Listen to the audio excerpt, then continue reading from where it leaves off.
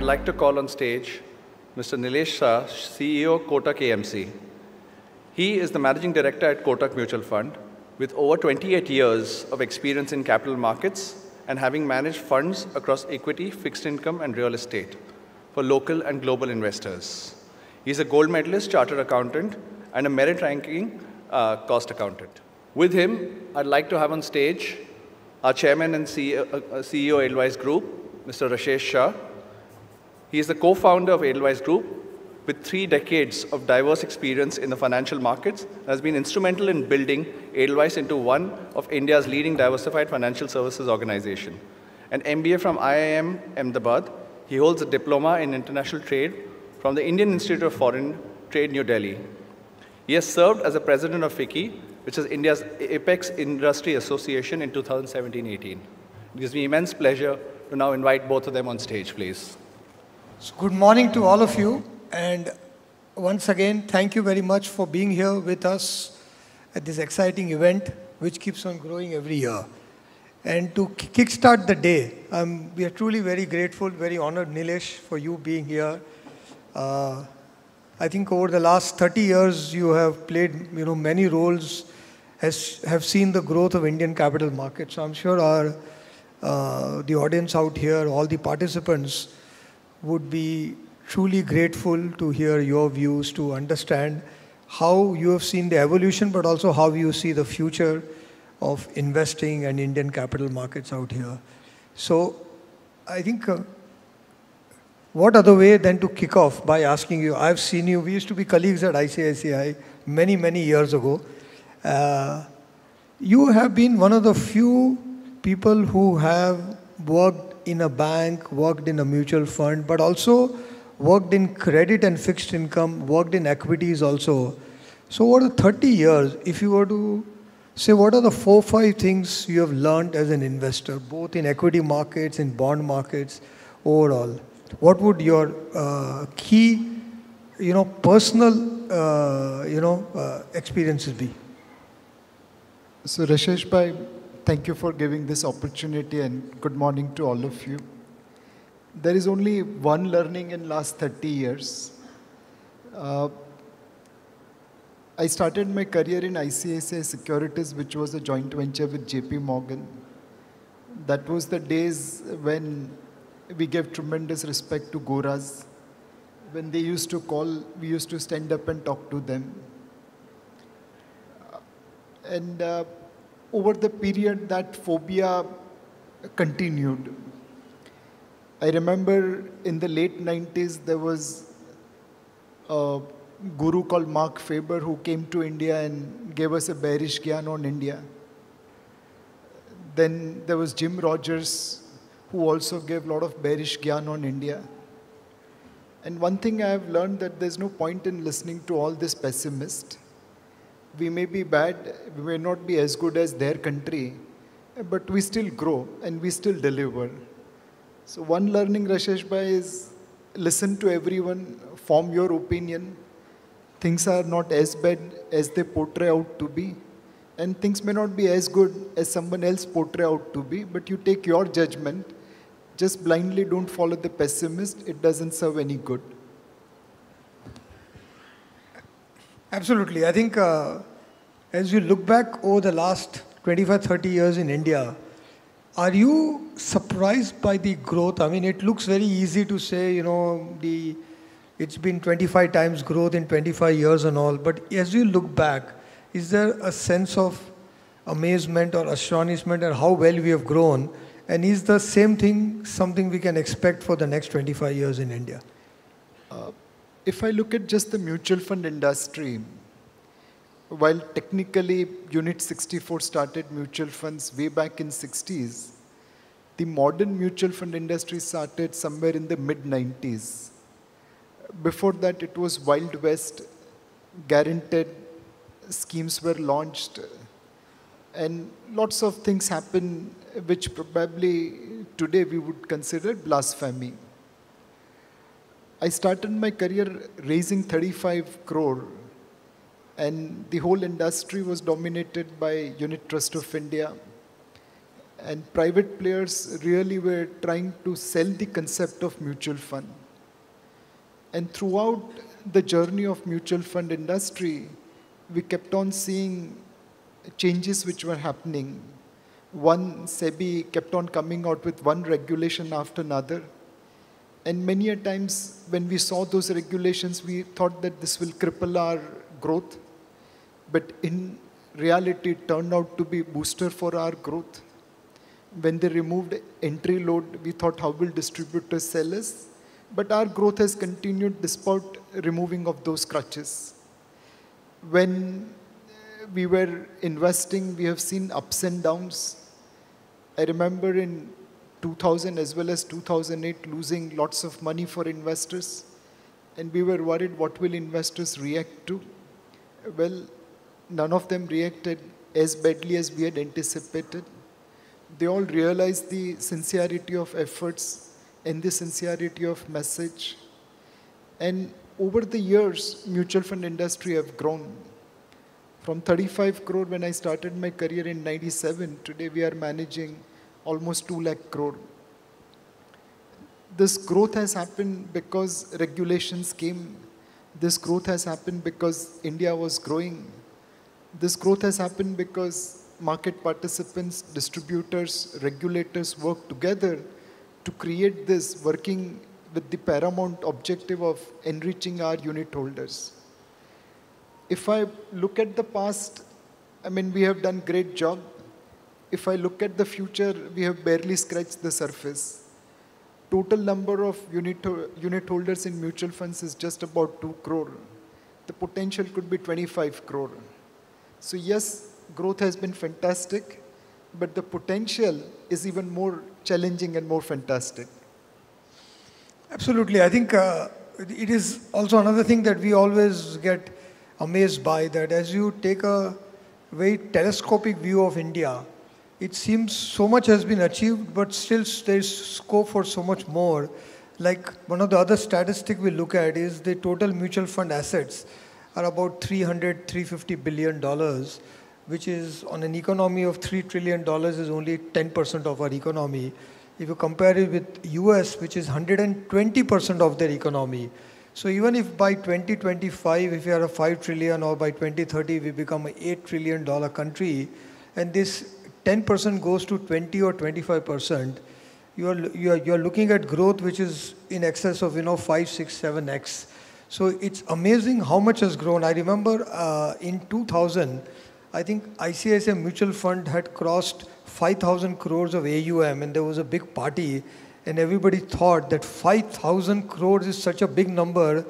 Where will any more growth come from? Because now we have achieved all the growth that has been there. And now when you see what that 5,000 was to what it is now, because when you were looking at 100 crores and 200 crores, even a 5,000 looked very big. Now, now suddenly 3 lakh crores and 3.5 lakh crore, or, you know, starts to look very, very big. But I don't think uh, we, it is very far away in the next 8, 10 years that we look at 10 crores, uh, 10 lakh crores and 15 lakh crores as a size of a good size mutual fund in, in India. And that kind of growth is there.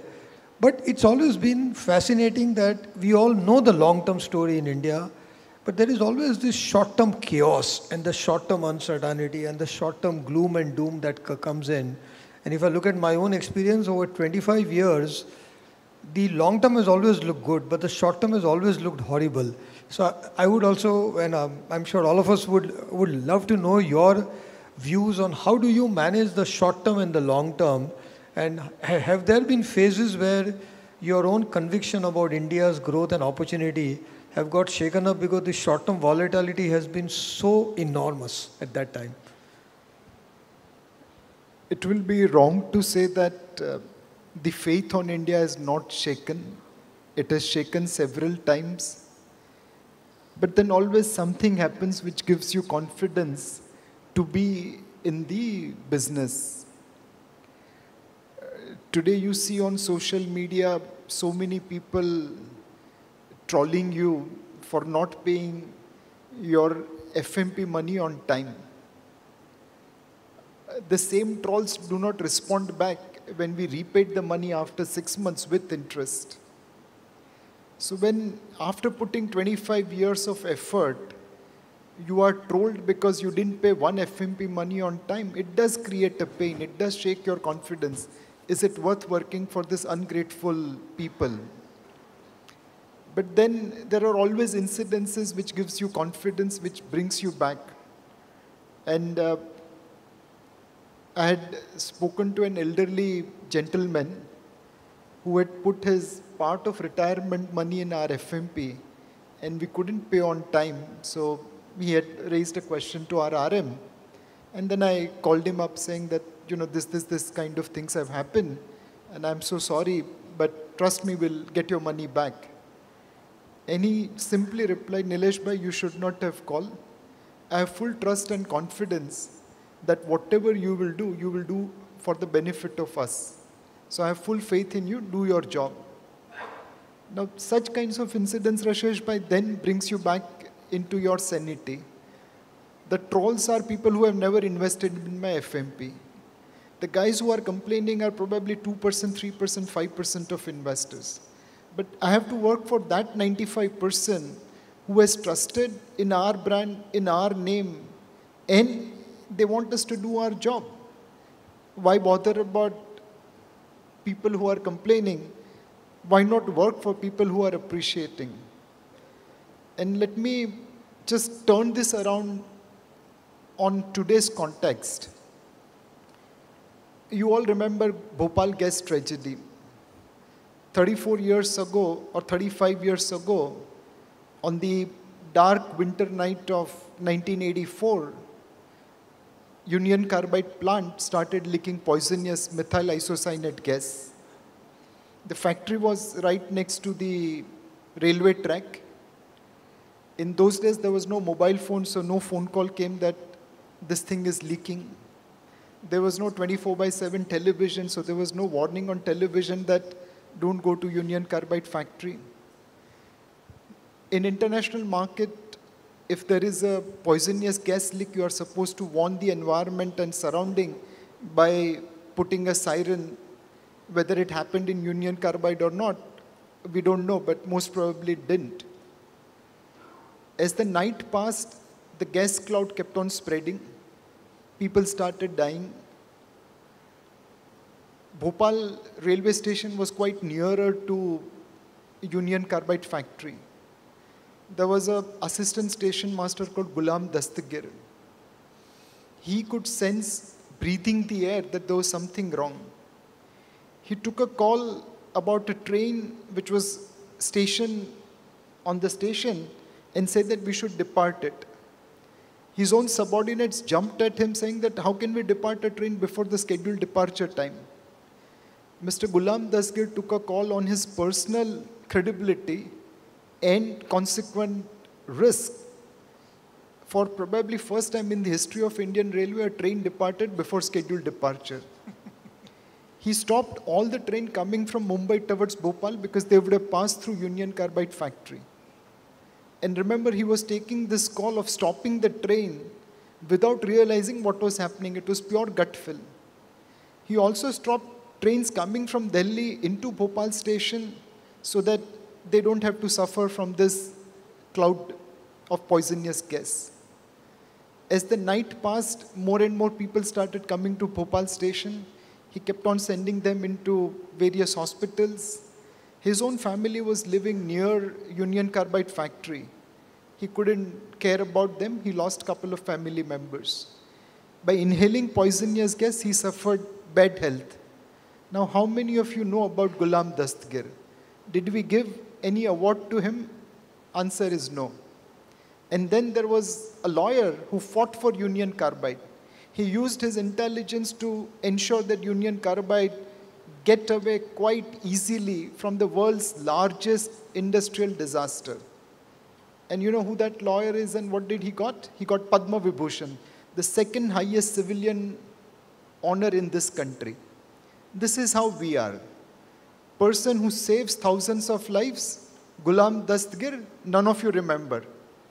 Person who fought for Union Carbide uses his intelligence to prove that they were innocent, he gets Padma Vibhushan. This India needs to be changed. And fortunately, as mutual fund manager, I am seeing changed India. Yes, there are some old habits still there, but we are seeing changed India. Absolutely. I think uh, our own experience has been. Clap for Gulam Dastgir, not for me. it's, a, it's actually a fabulous story. Uh, actually, our experience has been the same. I think Indian opportunity is, I always consider it is akin to a wall. And in order to capture the opportunity to break the wall, and you keep on banging your head against the wall, there will be, there won't be any change. So you keep on banging, banging, banging. Then when you're just about to give up, you will see the first crack out there. So it'll give you encouragement, so you keep on banging again. Then again, when you're about to, about to give up, the crack will become bigger. And over a period of time, either your head will break or the wall will break. Hopefully the wall will break and the opportunity will truly emerge for all of us. But India has been con continuously in that way. It will try your patience again and again. But if you have the faith, I think it usually works out. Uh, and uh, as we have that, you know, quote in India, that in India, in the end, everything works out. If it hasn't worked out, it's not the end yet. So keep on banging your head. it will work out eventually. But uh, changing gears a little bit, I think over the last 30 years, almost 30 years in your career, you have seen companies, you have seen entrepreneurs, you have seen organizations. If you were to look back in terms of what we call high quality companies or high quality entrepreneurs and companies which, which did not do as well, what are the key either characteristics or approach that now you can look back and say that these are the few things the high quality companies got right. I mean, uh, because you, you've been a very astute investor, you have seen companies grow, you invested in them, a few of your hypotheses may not have worked out, a lot of your hypotheses worked out. So when you look back, what do you see are the characteristics of highly successful companies from an investor's point of view and companies which didn't do as well? So couple of characteristics which stands out. One, most successful companies are one who have very good capital allocation policy. There were promoters who set up plants because by gold plating you could take money out. And there were promoters who set up plants at the most competitive rate because they wanted to compete with the best in the world no prize for guessing which promoters today survive. So any promoter who always treated public money as well as his own money with utmost care and allocated his capital in a very, very disciplined manner, by and large has gone through the ups and downs of the cycle. Second, a promoter who refused to take shortcut most of the time, by and large, has succeeded. If I have to divide this in a very mythological manner, I will put that there are four ways of doing anything in life the Ram way, the Krishna way, the Duryodhan way, and the Ravan way. In the Ram way, your objective is always noble, and the means to achieve those objectives are also noble. That's why Bhagwan Ram is known as Maryada Purushottam In the Krishna way, objective is always noble, but the means में थोड़ा बहुत चलता है. So if it's important to kill Karn, don't tell Arjun that he is your elder brother. Just kill him and then later on you can tell him. So you can compromise means, but your objective is always noble. In the Ravan way, objectives as well as the means both are useless, both are corrupt. In Duryodhan's case, his objectives will always be wrong, but sometimes he will adhere to right means. Now, as an entrepreneur, most of the time you should be in Ram quotient. Your objective is to create good for all the stakeholders, shareholders, employees, society, government, and so on and so forth. And the means to achieve those objectives should also be right and fair as much as possible. Obviously, this is Kal Yuga and we operate in India. So once in a while, you can come to Krishna quotient where objective is noble, but the means में थोड़ा बहुत आगे पीछे चलता है. But never ever venture into Ravan quotient and don't attempt Duryodhan quotient. I have not seen in 30 years on a longer term basis a Ravan or Duryodhan succeeding. It's always the Ram and Krishna which succeeds over a period of time. Very nice. Very nice analogy. Uh, changing gears a little bit. Investing is all about the art and the science. There is a psychology to the market which has very often confused us and befuddled us because market operates in his own psychology reflexive way. As you look back to what happened, say, 13, 14 months ago, you know, there was this ILFS episode, and after that, suddenly the psychology, the panic, the anxiety, especially in the bond market, I think overtook everything. If you were to look back and analyze what happened, what is what are these psychological swings that happened in the market, whether it's equity market, bond market, especially akin to what we saw in the last year?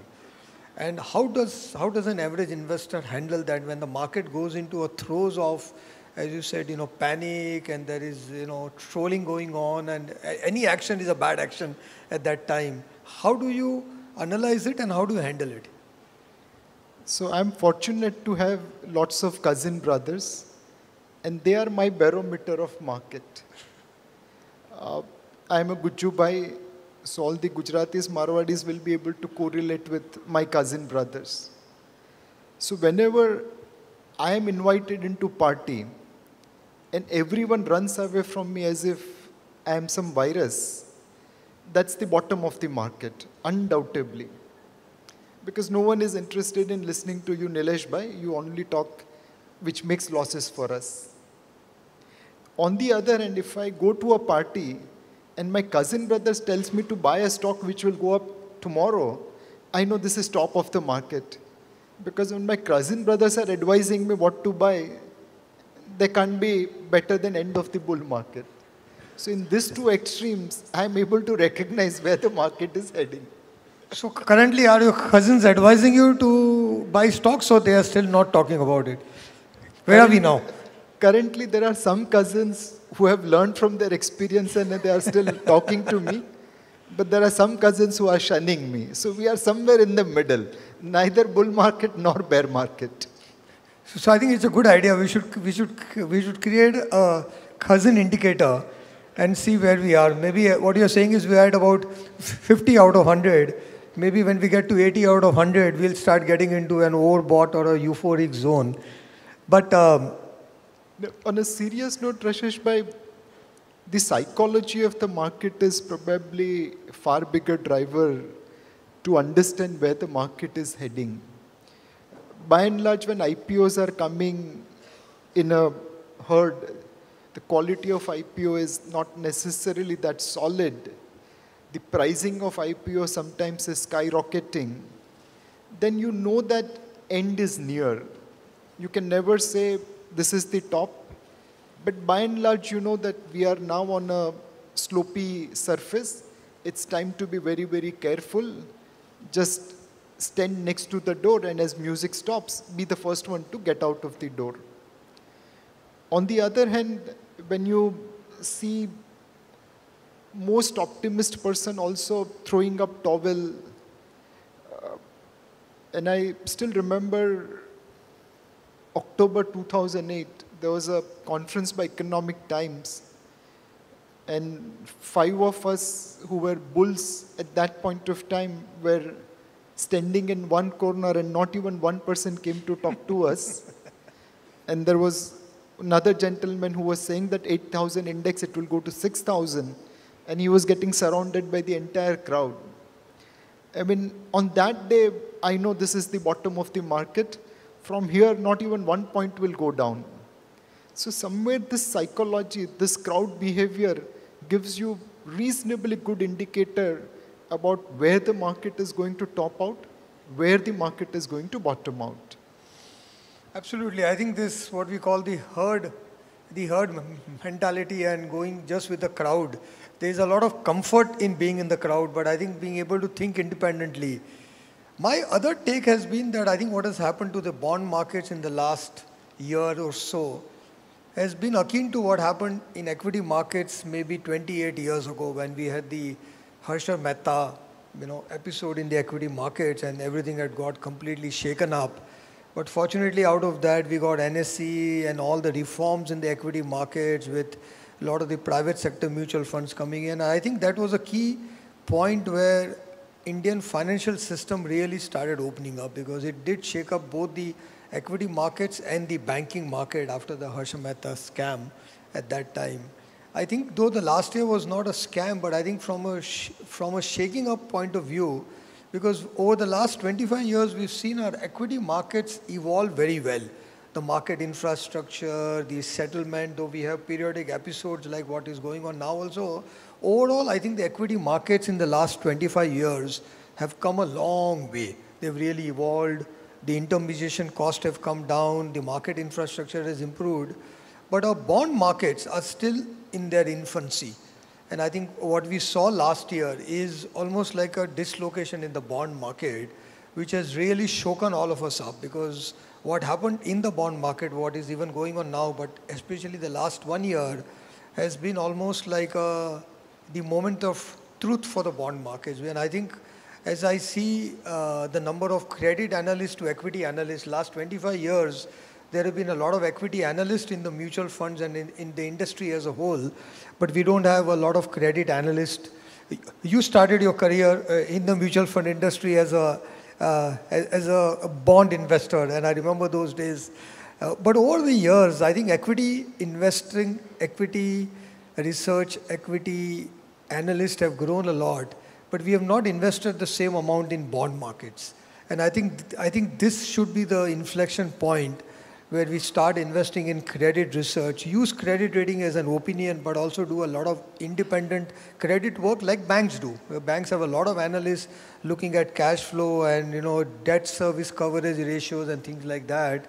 I do think the mutual fund and the insurance industry, who are the two main pillars of the bond market, will uh, will evolve out of this and invest a lot more and this could be, I think, five, ten years from now, we'll look back and say this was a really an important change uh, phase for the bond markets in India. So I think this psychology obviously swung a lot, but it's also coupled with the fact that the bond markets needed a little bit of, uh, you know, pushing to reevaluate how we're going to invest in the future. So I think it's going to be a very interesting evolution for bond and credit markets in India. Yes, and there are couple of things which we need for bond markets to deepen. One in equity market, investors, distributors, mutual funds or manufacturers as well as regulator have accepted volatility. When there was 60 70% drop in NAV in 2008, we didn't see any action being initiated for that loss. Unfortunately, on the credit side or the fixed income side, similar level of maturity does not exist. Even if there is mark-to-market volatility, there is multiple number of queries as to why my NAV has come down. Now it's pure mark-to-market. You lose same money in bank fixed deposit as you lose in fixed income fund. Only thing one is not mark-to-market, other thing is mark-to-market. So one, accepting the reality of mark-to-market, accepting that there will be volatility in fixed income investment will be very critical. Second, we all need rule of law. In equity market, many a times you can show your displeasure by selling the shares. And while there are few cases where exit is not available, in most cases, exit is available. But in fixed income market, we have not developed that rule of law. The rule of law says that if your check bounces after doing one, two, three, the person could be in jail. The experience suggests that there are 40 lakh cases which are pending in the court and no one is in the jail. unless until we create rule of law where agreements will be honored, where contracts will be enforced in a short period of time in an exemplary manner, this whole market cannot take off. And third, we need to develop, let's say, high yield market or junk bond market so that there is no blockage of capital. We have seen NBFCs going through crisis. Are they all worth zero? Answer is no. There will be buyers at 90 rupees, 60 rupees, 40 rupees, 30 rupees. But in India, those markets, those kind of buyers are not present. So unless until we develop the market holistically, where rule of law is honored, where innovation is encouraged, where risk taking is permitted, we won't see bond market as deep as the equity market. Actually, if you look at, uh, you know, for bank NPAs and all, now with ARCs coming in, our own ARCs have bought quite a few NPAs from banks, and it has been a fairly profitable activity because just because something is an NPA, doesn't mean it's a loss. In fact, uh, there is a lot of underlying value that is still there, but at that point, the mark to market says that you have to, you know, mark it down. So we have actually built a business around uh, helping recoveries on NPAs and all from banks. I think we need something similar for the bond market. So I think if you look at the bank and the loan market, a lot of innovation has happened on NPA trading and buying and selling of NPAs and all. If you can get the same in the bond market, the high yield market and the junk bond market, I think it will be an, uh, a very important, another further leg to the bond market. I do think that in the next five or 10 years, we'll see a huge amount of evolution in credit markets in India, including maybe a, an exchange for, you know, only trading uh, bonds and loans. We need a trading of the loan market also coming in. But again, changing gears a little bit. A lot of investors out here, a lot of high net worth. This is actually one of the premier wealth management conferences where we have tried to uh, not only keep the same quality as an, as an institutional conference, actually over the last few years, the quality out here, the quality of companies and investors has even surpassed that, the kind of uh, interactions that happened. So a lot of investors out here who are grappling with one fundamental issue at the moment. Interest rates are coming down, uh, fairly low, yields are very hard to get. On the other side, there is this entire, you know, aversion to risk and Equity quality companies are very expensive. Equity markets are almost at an all-time high. What does an investor do if you have a three or five-year horizon? Because both yield is hard to get, equity is expensive. So if you were to invest today, uh, what would you, uh, how would you go about thinking about this? Apart from maintaining your asset allocation, my recommendation is to focus on two areas one small and mid cap portfolio. These stocks are available reasonably well below their historical valuations. Their profits are depressed today because of the burden of tight credit, high interest rates, and global slowdown. But as things improve, they'll have the highest delta and at today's valuation, not only you will have earnings upgrade, but also valuation upgrade. On the fixed income side, my recommendation will be to invest in credit side. Duration will also do well as rates decline, but credit gives much higher carry. And over last 12 months, we have seen losses coming from all kinds of events. But over next 12 months, we'll see recovery coming from all those events. Like we recovered our dues from Essel, there will be recovery in many of the names where write-offs have occurred today. And all those will be value add to the investor's return on the credit side. So in the fixed income space, take some risk, go for credit, in the equity space, take some risk, go for small and mid caps. This trade may not work out in next three months or three weeks, but over three to five years, will this trade work out? Quite likely. So overall, everybody's become extremely risk averse on the credit side, and we have seen a swing. We also see, I think, in hindsight, we will see that what India has gone through, the NPAs in bank system exceeded more than 200 billion dollars. I mean, more than 13 lakh, 14 lakh crores of NPAs. A lot of that cleanup is almost done. We are towards the last mile of that. But what happens in the last mile is the hardest one. You know, when you do a 42 kilometer run, on the last kilometer, even a slight incline feels like you are climbing Mount Everest at that time because now we are fatigued. And I think that is what is happening to our credit markets that we are so tired of this three letter word called NPAs that any default, any NPA just, uh, you know, uh, I think creates a panic.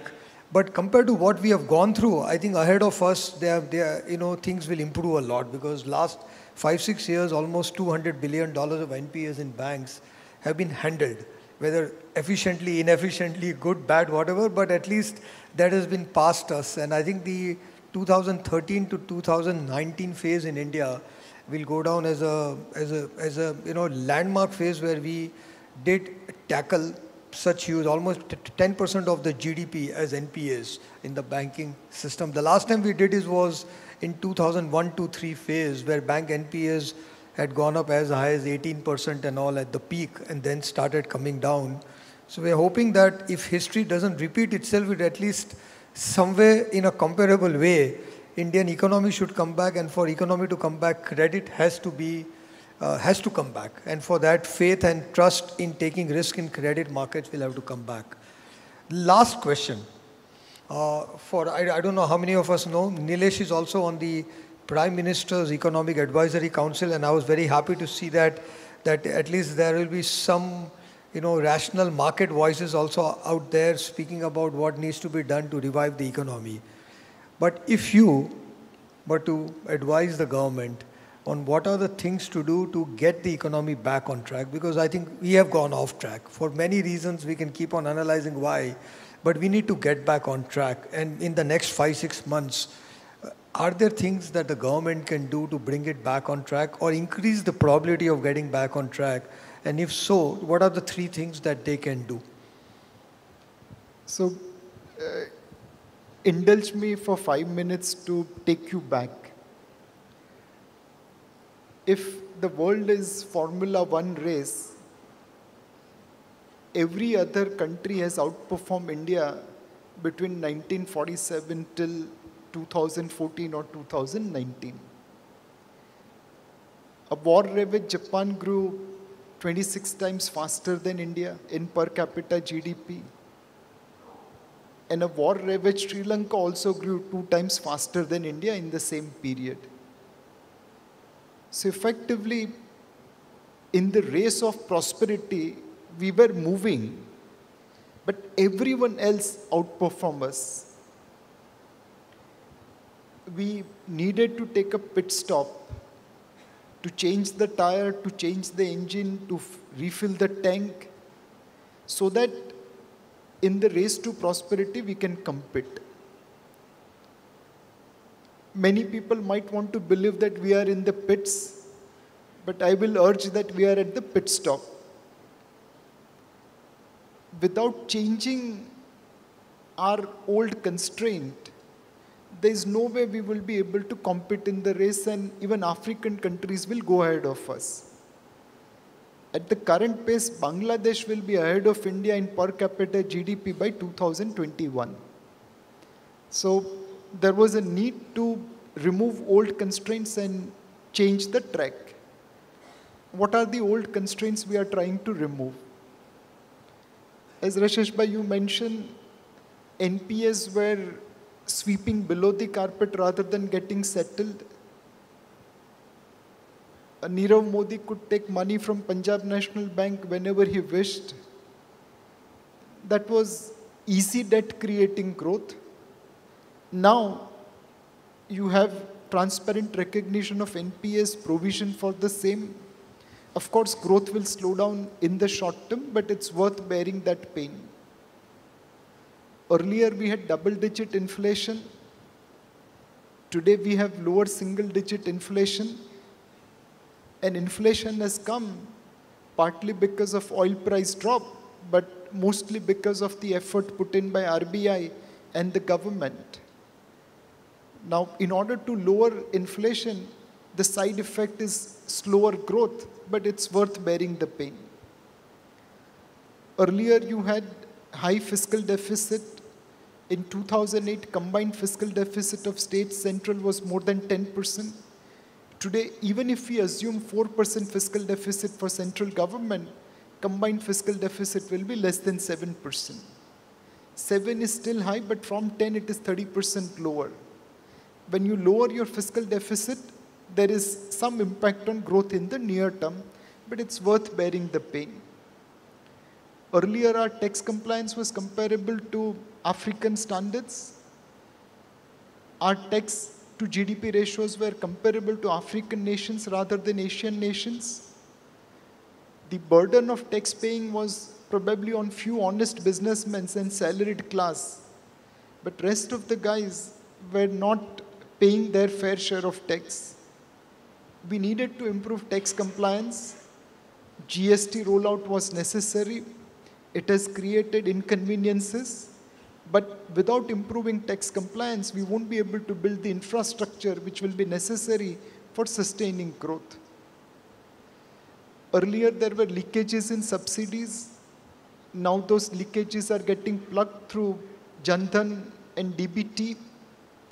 And obviously, the pattern of consumption has shifted from few luxury item to mass produced item.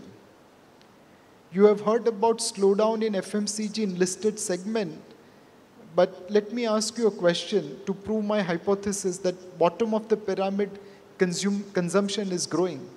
How many of you have gone to shop in Khadi and Village Industries Commission in last one year? One person? That's it. And how many of you have not used Hindustan Unilever product in last one week? Not even one guy, everyone takes bath. Now, Hindustan Unilever is India's largest FMCG company. They are in India for 100 years. They have brands like Lux, Pantene, which we use every day. In this whole room, everyone has used it. To my father's generation, they were using Madhubala to sell product. To me, they used Madhuri Dixit to sell product. And to my daughter, they are using Deepika Padukone to sell products. So their brand power is enormous. It has the best managerial talent India has ever produced. They are so good that they can go and run Unilever. With all this firepower, in 100 years, their turnover is about 37,000 crore. Khadi and Village Industries Commission is not a listed company. You won't be able to remember any of their brand. None of the managerial talent will be comparable with what Hindustan Unilever possesses. They don't publish their quarterly number, but for the year ending 31st March 2019, their turnover was 75,000 crore, 16,000 crore more over previous year. They created in 2018-19 50% turnover of what Hindustan Unilever created after 100 years somewhere when we are not going to KVIC to consume and they are selling 16,000 crore of product, 50% of what Hindustan Unilever took 100 years to create, there is someone at the bottom of pyramid who is buying the product and which is where this transfer is working. So we are taking a pit stop in order to change the worn out tires, in order to refill the tank, in order to change the engine so that we can run faster in the days to come. Path of fiscal prudence, lower inflation, transparent recognition of NPA, plugging the subsidy leakages, improving tax compliance, these are all going to hurt in the short term. But over a period of time, they will help us grow faster on a sustainable basis. Is there any self-goal scored by India? Answer is yes, undoubtedly. And before putting the blame on the government, let's just talk about ourselves. In last eight years, you and me put together have remitted $245 billion abroad for import of gold and precious stones on a net basis. 245 billion dollar. We are a patient who wants his growth to improve, but insist on giving blood donation. The need is for blood transfusion, but we are giving blood donation. Then we are complaining, oh, my health is not improving. Somewhere as a nation, we have to prioritize our savings. Do we want to put our savings in our country or do we want to send it to Switzerland and South Africa and Australia? This government cannot stop. This you and I have to stop. Second, uh, we all heard from Gandhi Bapu, be Indian, buy Indian. I think most of us are following be Indian, buy Chinese. Our trade deficit with China is $58 billion officially, excluding the Hawala. And by the way, in that $245 billion, I also did not include any gold smuggling, but you and I both know smuggling exists. $58 billion trade deficit with China. Now, there are certain things which we have to import from China. But what about the electric lights which we import from China? What about Kanjivaram silk sari which comes from China? Somewhere by buying Chinese goods, we are shifting our manufacturing abroad. Now, this can't be blamed on the government alone. Some blame lies on our shoulder also. Third, for whatever reason, credit creation has collapsed in the country. This is RBI's own data. Between April to mid-September 2019, fund flow to commercial sector has come down from 7 lakh 36,000 crore to 91,000 crore. It's drop of 88%. Rashesh Bhai is a great marathoner, but if I feed him only 12% of the food for last six months, and then I request him, Rashesh Bhai, up dodo, do you think he'll be able to complete marathon? He won't be able to start the starting line also. Our economy has not received fund flow to the extent of 88% over previous year. Now, in a dollar term, this is roughly about $90 billion drop. In 2018, for 100 rupee of incremental GDP, incremental bank credit was 86 rupees.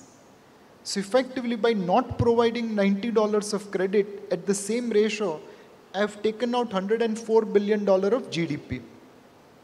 That's almost 4% of India's GDP in six months.